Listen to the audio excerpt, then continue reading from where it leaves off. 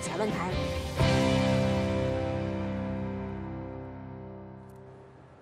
时间来到北京时间的九点三十五分，将焦点转向双城论坛。曾经公开表示“九二共识”已经过去，两岸关系应该有一五新观点的台北市长柯文哲，在去年以政治素人的身份席卷台湾政坛之后，也造成国民党士气选情不振，以及中共当局对台湾的政治局势做出新的考量。柯文哲将在八月十七号到十九号率团前往上海参加双城论坛。许多的分析人士担忧，柯文哲以一个政治素人的身份太过单纯，与共产党近距离交手恐怕会输。这一次的双城论坛。柯文哲是否会有过多的让步，还是会迫使北京面对台湾新的政治气候呢？在节目进行当中，海峡两岸的听众和观众朋友可以直接拨打北美国之音的热线电话，发表您对今天我们讨论话题的看法。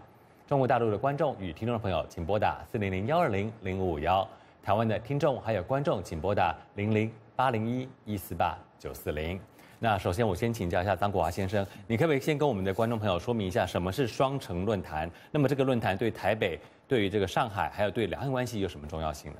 双城论坛基本上是上海和台北市啊世纪交流的这样一个平台，一个制度性的协商。那这个呃是五年前由前这个台北市长郝龙斌哈呃这跟跟上海市。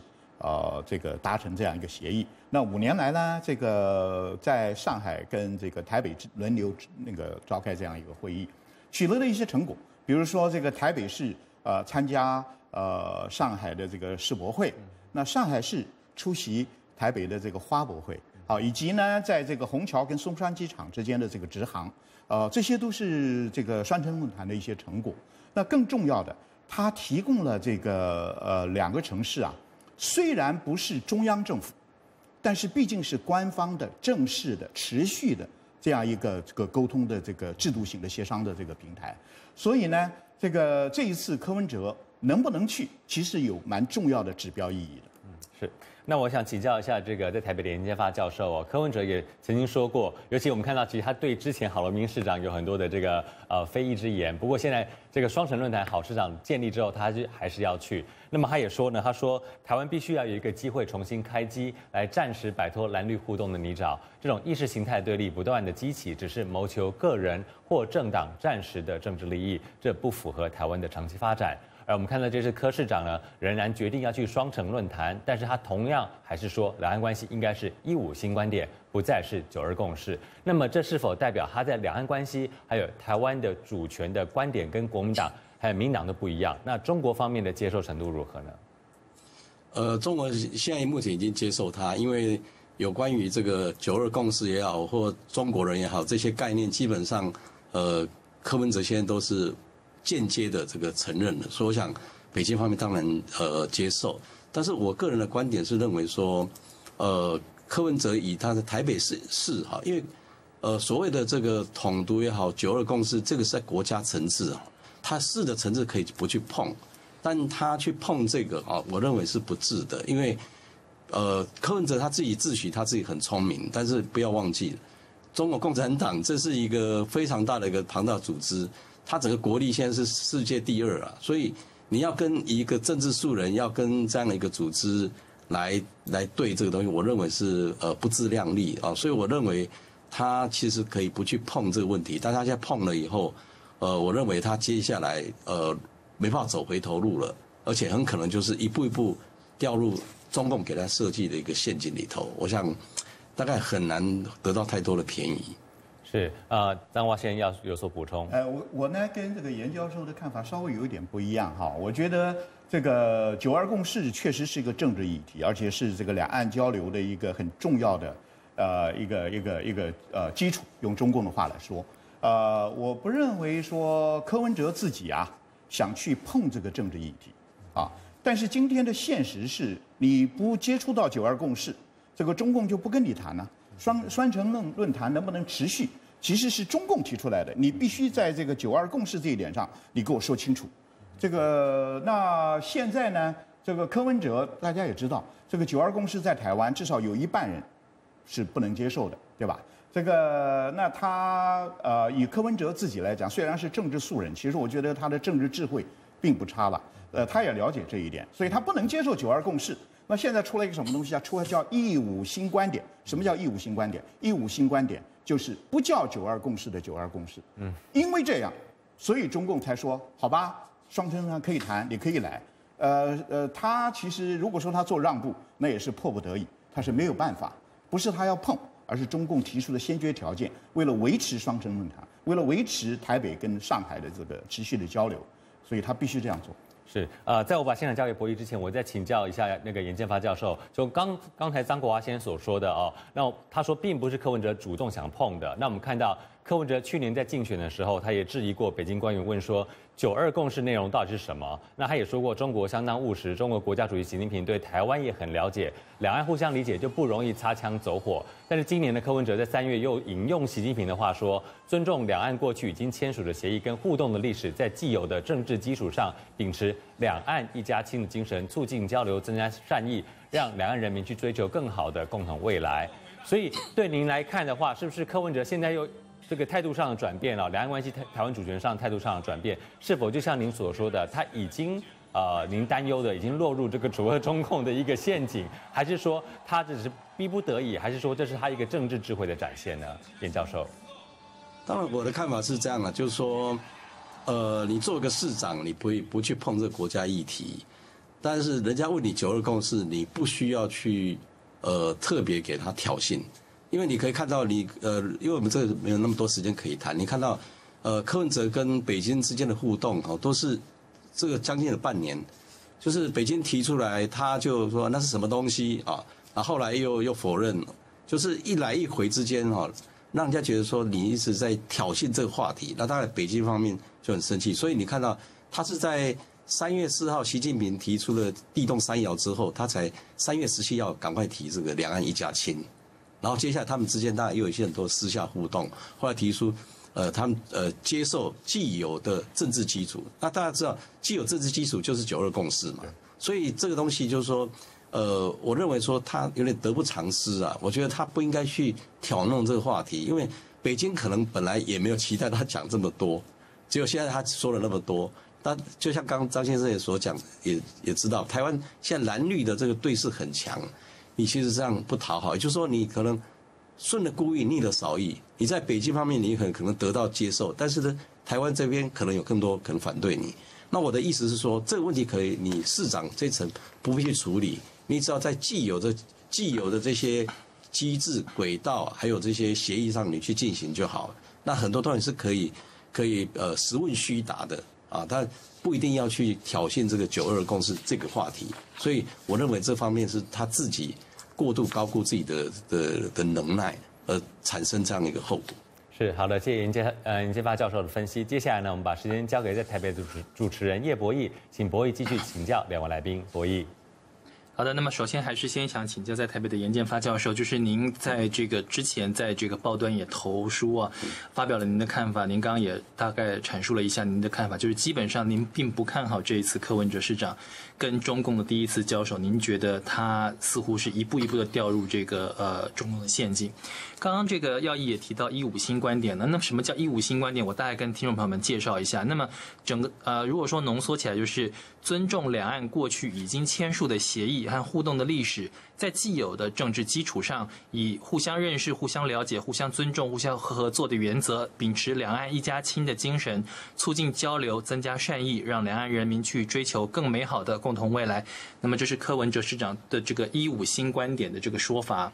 那么，呃，他现在好像也是试图要拿这个“一五新观点”，试图要去取代“九二共识”。他有这样的一个想法，我们猜测，不知道那您觉得可不可行？这是第一个。第二个，也有人虽然说您觉得柯市长跟中共方面的交手，他可能会败阵，那但是有一些柯呃柯市长的支持者说，柯市长说他尊重九二共识，他了解九二共识，但他没有说他接受跟支持。那所以这样子也并不代表说他就接受九二共识。不知道这两点您怎么看？那这里面有两个基本概念，一个就是中国人，一个就是一个中国原则。那呃，既然你说两家两两岸一家亲，一家亲就是就是家人嘛，那是中国人就是接受了嘛。既有的政治基础当然就是九二共识嘛，因为现在的执政党接受九二共识嘛，所以他是绕了一圈回来，然后来理解跟尊重九二共识啊，所以对方也知道了。好，所以呃，我意思说，他实际上可以不去处理，或者他处理不需要那么急的处理，因为他才才就任没多久，他现在马上去处理这个，实际上是让自己陷入更不利的这个状况。因为北京他的做法是这样，譬如说他对民进党，他是要求，哎，你承认承认，只要你承认中华民国，哎，他就可以接受。可是等你接受中华民国以后，他会要求你讲更多，他一步一步逼你，他是这样做，所以你一定要有某种程度的抗压。那你现在一下子马上一步到位，接下来他还会要更多。那我认为，当这次的双城论坛，也许北京会再给他一点礼物，可是你认为他后面以后还会再跟你要回来？所以我认为说他呃可能就会得到一些小的礼物，可以以后失去大的。那尤其在台湾整个现在的氛围，你看他现在的高中生、大学生，他的想法跟现在这个所谓一个中国原则，那是已经很背离了。所以我认为说他这样做可能会不会讨好。我就刚讲顺的故意逆的少意嘛。那实际上柯文哲他不需要跳跳出来去面对这个问题，哦，他可以可以很很委婉的来处理，因为毕竟就是一个一个市长，他可以处理市政的问题。所以我认为是有点对他来讲，他是。呃，自己愿意跳进去这个漩涡里面，可实际上我认为他并没有那么大的能量来处理这个问题。那么我可不可以请再请教您，就是说您觉得现在是不是柯市长，就是中当然中共只要遇到台湾什么都说你到底承不承认九二共识？承认我们再谈。但柯市长就跟他说，哦，那我就说我的一五新观点。然后呢，好像中共就觉得说好了，反正你这个一五观点新一五新观点应应该也是在九二共识的这个基础上，我也接受了。那您觉得这个一五新观点未来有可能取代九二共识，或者可能成为两岸的另外一个？我我看很难。你包括像九二共识，北京对于国民党九二共识都无法接受。九二共识包括九二共识啊，因为从从这个北京的观点是一个中国原则，不是一中各表。国民党是一中各表，可是他现在就是暂时还容忍你，是因为还有个民进党还没拉进来。所以，同样的“一五共识”，他现在也没有去完全去否定你，但他也不会去接受你，好，他会把你模糊化，好，然后慢慢让你进来以后，他在这有点像在放风筝，但现在慢慢拉，慢慢拉。所以，我认为这只是一个开始而已，这场斗争只是个开始而已。我认为后面还有更多的压力会出来。嗯，是好的，谢谢严建发教授。那么回到华府，我们想请教张国华先生，刚刚这个严教授的这个分析，我们也想请教您，您怎么看待这个“一五新观点”是不是能够？呃，成为未来这个两岸交流的另外的一种取代九，甚至可以可能成为取代九二共识的基础。那么这一次，另外我们也发现到说，张这个国台办主任张志军说，只是柯文哲说他尊重九二共识，让大陆接受，说那好，你可以来这样子。那这到到底代表了一个什么样的意义？是不是他这个国台办的这个呃对台工作其实还是呃有步骤的在进行的？想请教您的观点。是这样子，我首先认为啊，我觉得这个柯市长啊，其实他并不是跟中共一接触啊，他马上就这个投降的，他不是这样一个人。其实他跟这个北京啊有不断的这个碰撞，然后目前的这个结局啊，就是不断交手，而这个达成的一种妥协。那我们知道最早啊，我在纽约听过这个柯市长，就是选前呐，他到美国来访问，我在纽约这个就听这个呃，当面听他在讲。什么叫一国两制？应该两国一制了。那以这种说法，他今天不可能，大陆不会让他去了。那他从这个两国一致，慢慢慢慢走，走到今天这个，我觉得最重要的是两句话：一个是在既有的政治基础上，第二句就是说，在这个两岸一家亲的精神下。这两句话就是刚刚严教授也讲了，这个既有的政治基础就是九二共识，因为目前两岸交往的这个基础，在中共看来。就是九二共识，一中各表。那中共强调一中，呃，马政府强调各表，呃，这是这个呃，这是一。第二个呢，两岸一家亲，这是习近平的话啊，是吧？两岸一家亲，一家人嘛，怎么可能是两国呢？所以有了这个，呃，这个两岸的交流才能继续下去。在我看来，这个其实啊，这两句话已经超越九二共识，因为九二共识啊，它强调的是一个个表。啊，你说你是中华人民共和国，我说我我说我是中华民国，这个这是一种两这个这个各说各话的这样一种情形，就是说双方同意，各执己见。但是今天你说这个你你你你在既有的政治基础上，也就是在九二共识基础上，你又加上了两岸一家亲，实际上是比九二共识更往前走一步。所以刚刚这个主持人问我说，呃，这个一五新观点有不有没有可能取代九二共识，被这个北京接受为未来两岸交往的这样一个新基础？我觉得完全可能。这个虽然北京一直在强调说九二共识是必须要有的，没有它我们不能有交流，但是不要忘了，这个前国台办主任就是现在的中共的外交部长王毅先生，他之前啊以国台办主任身份到华府来访问，上一次选举之前了，他就说过，他就说啊，我们这个坚持九二共识，并不坚持这个名称，这个民进党如果认为九二共识。是国共这个这个协调的产物，我们也可以坐下来谈一个不叫“九二共识”的“九二共识”。换句话说，北京在乎的不是这个这个名称，而在乎这个名称下的实质含义。那我觉得“一五”新观点实际上已经超越“九二共识”，只是这个民进党不可能接受，蔡英文也不可能接受而已。嗯哼，好的，谢谢两位来宾的分析，要义。好的，谢谢啊张国华先生分析，以及谢谢博弈。我们接下来线上呢有很多的观众朋友打电话进来，我们来接听他们的电话。首先先请彰化的杨先生，杨先请说。彰化的杨先生，呃，向各位问候。最主要就是啊，这个像那个柯批啊，他们说柯市长是柯批啊，他那个是很有智慧的人，没有错。他常常啊，人家要问什么，他就答。大会否问啊，很厉害的一个啊，IQ 很高的人啊，哎，然后他这个说的什么二零一五新观念，其实那个基础啊，是建立在九二公司一中各表的那个泥沼土上面呐。你没有那个底下的九二公司跟一中各表，你哪来的二零年的那个新观念？然后二零一六又是一个新的一个开始吗？呃，我要问大家，呃，大家相信这句话的真实性吗？谢谢。好的，谢谢张化的杨先。啊，我们接下来请上海的孔先生发表您的看法。孔先生，请说。我来聆听一下这个一中各表。一中各表就是一个中国，然后个表呢，那这个个表只能在台湾表它的中华民国。但世界上，那个表述中华民国的话，估计很多国家都不会承认这个的。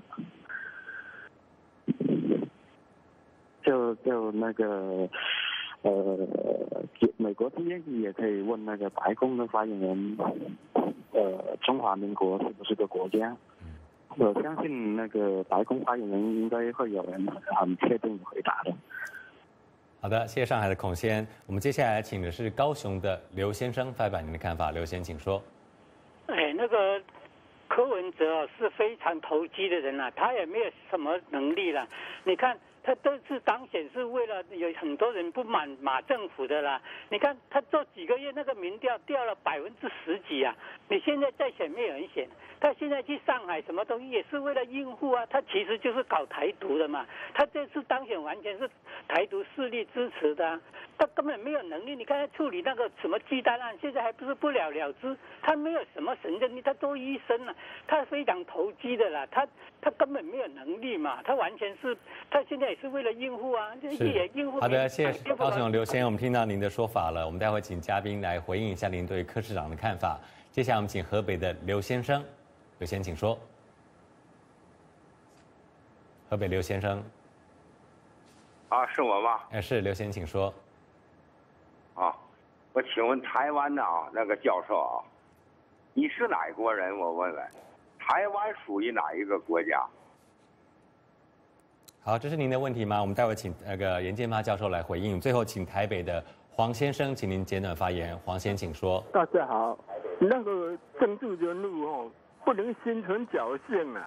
如果是说哦，要冲撞妥协，冲撞妥协哦，那那一步不能用了。请问呢，柯文哲选那个台北市长的时候，他说那个五大案，现在冲撞妥协，冲撞妥协。现在解决了几个，一个也没有解决，结果啊还陷在那里。现在连那个大鸡蛋都在煮那个大大鸡蛋都在煮那个鸡蛋汤了啊！啊，所以说哈，不要再去那边哦。下戏下景很难看了，是这样不好啊！谢谢大家。好的，谢谢台北的黄先，那我们就请教一下在台北的严建发先呃教授啊，刚才这个河北刘先也请教您说，说您认为是您台湾是一个什么样的国家？台湾是哪个国家？您是哪一国人？还有其他的我们观众朋友的发言，包括这个所谓对柯市长的看法，认为说他并没有能力，这您怎么看呢？呃，我想请呃大陆这位朋友，你可以是 Google 上网去查一下。台湾前途决议文，这是我们民进党的这个呃对于所谓国家定位的说法。那我简单的讲，就是说，我们认为台湾是主权独立国家，那依宪法啊，名字叫中华民国啊，我想就是这样的界定啊。那至于说柯市长的这个能力，我想呃当然有待检验的啊。只是呃我也必须要这么讲，就是说，我不认为北京会接受一五共识，只是北京现在呃去。就是说，他不去排斥义务共识，但他不会就是接受，他一定要慢慢的要求柯文哲在不断的加入一些东西，包括说反台独，好，那你以后如果不接受这个，那他对你的说法他就开始存疑。北京的这个做法是一步一步拉，一步一步一步一步切啊，所以我我是对这一点，我跟张先生的评价比较不大一样啊，就是说我对于北京的这种我呃的这个做法。细腻度哈，我我我比较呃比较担忧了，比较担忧。我对柯文哲的能耐，我比较呃不不不不会太太放心哈。那至于市政方面，我想确实没错，大家最近的一些表现哈，也看得出来，就是说没有刚开始的呃这个人民对他期待呃这个期待满意度那么高。所以我想呃，那我们还要再持续看了，不敢。做判断，但至少在两岸议题上，我认为他不应该这么快的去捅这个马蜂窝。我认为这是非常不智的。是，谢谢您的分析。我们最后节目剩下一分钟的时间，我们请张国华先做个总结啊。您也跟呃晋升采访过柯市长，你觉得他这个政治素人呢，到大陆去跟中共交手，您觉得他会不会吃亏？我觉得不会。为什么不会呢？因为他就是能够登陆，该做的这个妥协，该做的让步已经做完了。所谓的政治。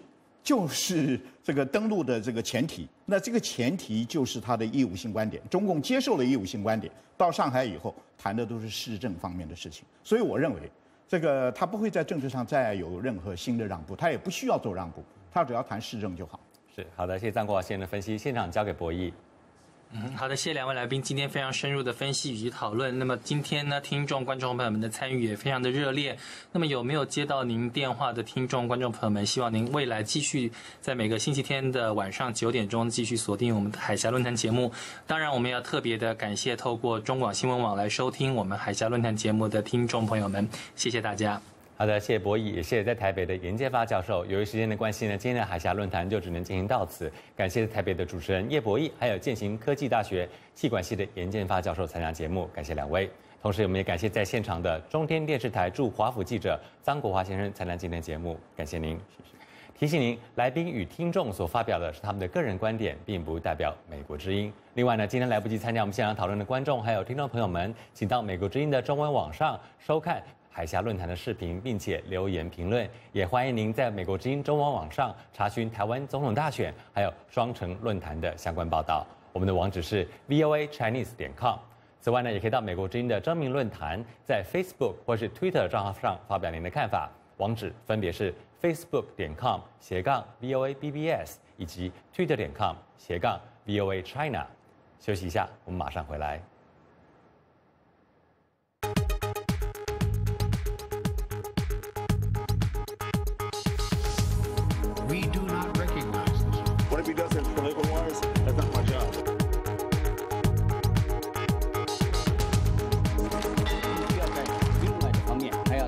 来做一个平衡，做一个反弹，做一个结果，而可